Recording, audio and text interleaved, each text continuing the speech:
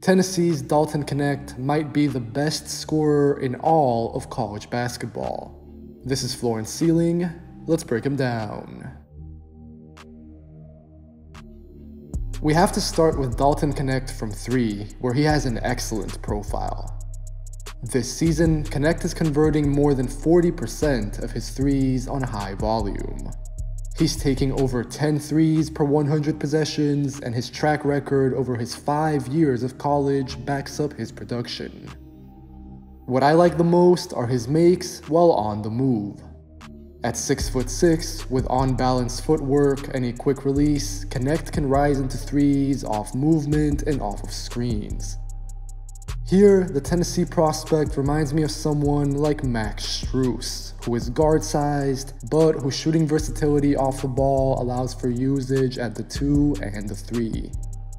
Given that Knecht is a super senior who will be 23 on draft day, the hope is that he can provide pretty immediate production for his NBA team. And I think he'll be able to do that on this end of the floor. I have no doubt that he can add value with his outside shooting, and he's a very solid fit next to just about every star in the NBA.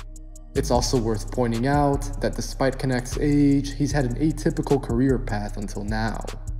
He spent his first two years of college at Northeastern Junior College, then he transferred to Northern Colorado in the Big Sky Conference for two more years, and now he's ending his college career at Tennessee in the SEC as one of the best players in the country. Knecht's scoring also applies off the dribble and into the mid-range. This season, he's averaging more than 20 points per game on 52, 40, 76% splits, which is quite impressive. The Tennessee prospect has a textbook shot with a high release point, which I love. Knecht is comfortable handling the ball to an extent, and we will dive into that more later. But really, I prefer when he keeps his dribbles to a minimum. Time and time again this season, we've seen how effective Knecht can be coming off curls, usually going right. This ties into his movement shooting that we saw earlier, and it emphasizes to me how his scoring is very translatable going into the NBA. Individually speaking, his high release point and touch comes into play here, but I'm also thinking about how his gravity as a shooter can simplify things as part of a greater team context. The ways through which Knecht scores opens up the possibility to attack closeouts. But actually, I'm hoping to see some more growth from him in this department. Knecht is a good vertical athlete and he's willing to attack the rim, which is good, but I'm not overly convinced yet by his handle or his ability to create space. I don't think that any of this is super problematic, but there has to be some improvement to get the most out of his shooting. Generally speaking, this all ties into Knecht's finishing. For me, this is a mixed bag. I think he's alright at the college level, Knecht gets to the rim a decent amount, but then he's inconsistent actually making his shots there. In his fifth college season, he's converting at a 59% clip, which is not that good, and there might be some regression at first in the NBA. When it comes to attacking the basket, Knecht is at his best when he has a lot of space to get downhill. Maybe this sounds like a given, but I think it also speaks to his limitations in tighter spaces. If Knecht is operating out of a pretty high ball screen, or if he's getting downhill against a defense that's not set, then I appreciate how he attacks the basket.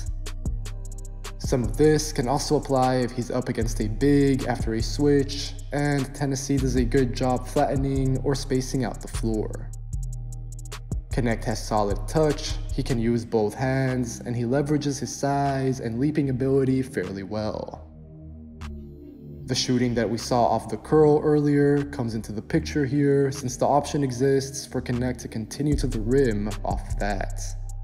This is nice usage too, since he can attack the basket, but against more of a shifting defense.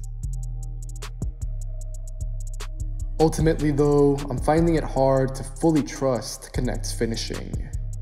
The numbers, like I said, are not that encouraging, and part of his volume, I think, also comes down to his high usage overall.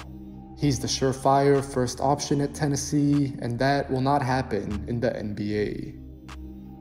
I do think that Knecht can be someone who grabs and pushes off of rebounds, or he'll handle on the second side here and there, but I don't see him as a prospect who will get the chance to create for himself at the basket out of screens. This is fine, it doesn't have to be an issue, but it also means that Knecht profiles as much more of a role player. His game in the league will increasingly be centered around his shooting rather than his current do-it-all type of usage. Knecht faces problems in the half court, particularly against defenders with NBA measurements. Again, this is why I prefer him as a driver in the open court. He's a good athlete going up, but his first step is not that dynamic, and his handle is loose and it lacks shake. On top of that, I find Knecht to be averse to contact, he's not very physical, especially against bigs, and if he has to bump and then go up, he loses the balance that defines him as a jump shooter. The hope maybe is that these issues pop up less in a more narrow role at the next level, but there's also the chance they pop up more against NBA length and size. We saw that earlier with how Knecht attacks closeouts, and as I've been saying, he's a bit undersized to be a true wing, and he's not skilled enough off the bounce to be a guard. This same gist can apply to Knecht in the post. The Tennessee prospect gets plenty of chances to play with his back to the basket in college. Generally, he fares off well. Knecht is about to turn 23, he has a pretty decent frame that's already built, he's facing defenders with similar size, if not smaller, and his scoring instincts are evident. All of this means that he can post up, he can shoot a turnaround with his high release point, and he can also overpower guys to get to the basket or draw free throws. In college, this is a perfectly serviceable tool. But as Knecht gets to the next level, I'm not sure this is going to be there for him. Very few 6'6 role players get to post up in the NBA. Jaime Jaquez is the exception probably, but I'm not sure many other teams outside the Miami Heat would be so comfortable letting him work in the post. I guess that to some extent, maybe this is contextual, but I really doubt that Knecht will get these reps in the league. He's not big enough, he's not a particularly quick decision maker, and ultimately, he's just more effective doing other things. In some ways, this reminds me of Grant Williams, who was used a lot in the post at Tennessee, but once he got into the NBA, he had to adjust to a more defined, off-ball role with plenty of outside shooting involved. Knecht is a better and more versatile three-point threat than Grant Williams, which bodes well for him. And unlike Williams, he'll be used on the move, out of screens, etc. That much seems obvious to me, but I am curious about his pull-up shooting. I'm gonna keep this briefer since I don't think it's that important to his NBA success. Knecht has shown some pull-up ability, but I also think it's limited by his handle again.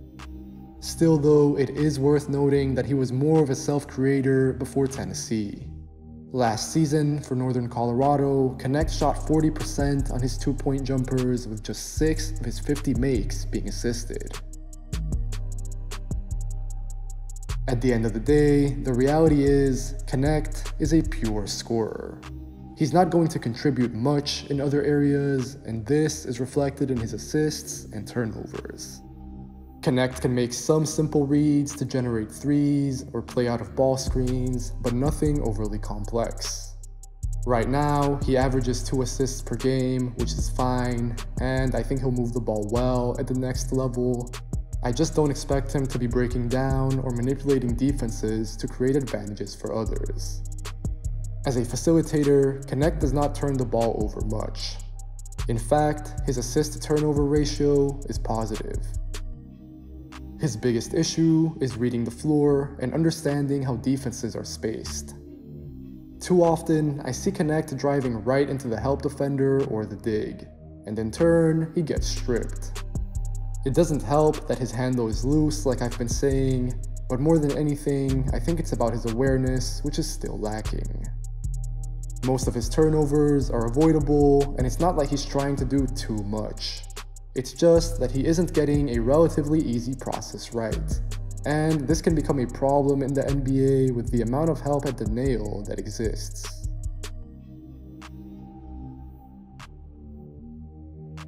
For everything I like about Dalton Knecht on offense, his versatility, his balance, his size, his athleticism, I don't see these same things on defense.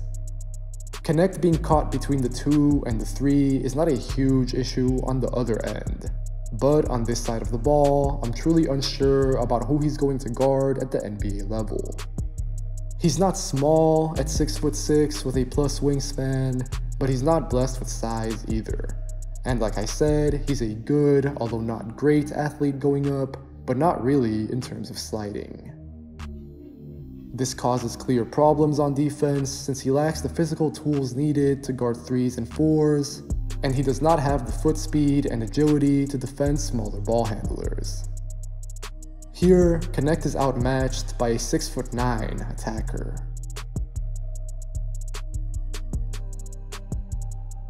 And in this clip, even though it doesn't end in a basket, it's clear that he cannot keep up with a guard. The Tennessee prospect cannot slide, and he cannot be effective off the ball either. Knecht is averaging under one block and under one steal per game, even as a fifth year college player that should theoretically produce more than this. For all effects, Knecht is a non-factor as the low man or offering any type of help side rim protection. When he's not directly involved, he has a tendency to fall asleep, and also he's not really disciplined on this side of the floor. Here and there, Knecht will get something to happen. After all, he's a good athlete and a super senior who plays a lot of minutes, but ultimately, none of the scarce flashes that we see give me much confidence. The good news for him is that his outcome is ultimately more so predicated on his offense. On defense, he can probably learn how to be passable in a sturdy system, but he's not self-reliant at all. Looking ahead to the NBA, guards and wings must increasingly be comfortable off the dribble. And it's not like Knecht can be hidden on bigs, so I find his defensive outlook very murky. Dalton Knecht is a bucket, He's averaging 20 points a night on really good splits, and sure, he won't contribute in too many other areas, but as long as we acknowledge that that caps his ceiling, I think that's fine. I'm not in on Knecht as a lottery pick because I worry about his defense, and ultimately I think that his NBA role is going to be much more narrow than his college role, but his offensive tools give him a very solid outcome. And as I look at past drafts, I'm confident that he'll return top 20 value or thereabouts. As always, if you enjoyed this video, make sure to leave a like, make sure to leave a comment telling me what you think of Dalton Knecht. and if you enjoy the channel, if you want to watch more content like this, make sure to subscribe. Take care, and I'll catch you guys next time.